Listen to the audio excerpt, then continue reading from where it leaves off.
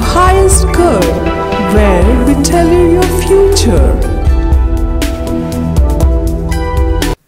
How are you doing, Libra?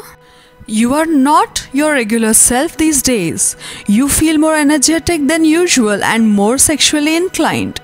You may also scare away people who are attracted to you because of your new superpower, but you will enjoy this no matter what.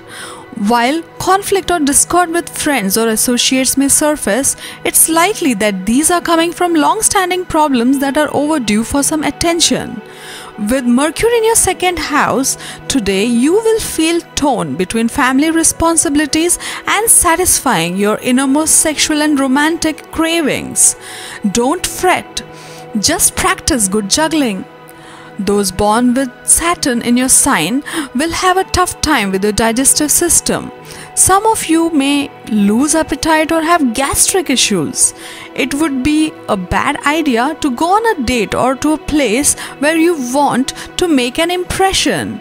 You tend to put more energy into play and pleasure, and you can be especially magnetic. Hi Libra, how have you been? Further excitement is in the air as you have a sense of awakening to ideas and feelings. Your choices are practical and wise.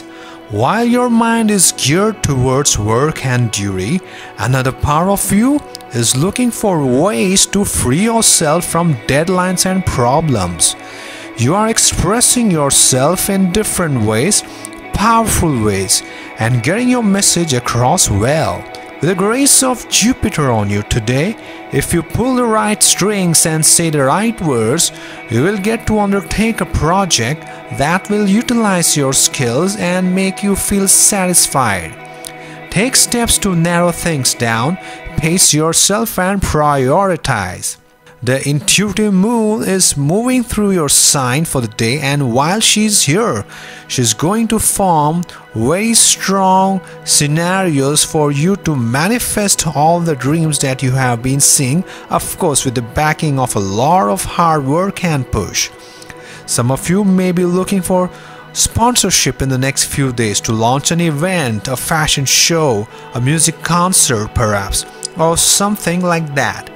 Don't worry, Venus and Jupiter will grace this event.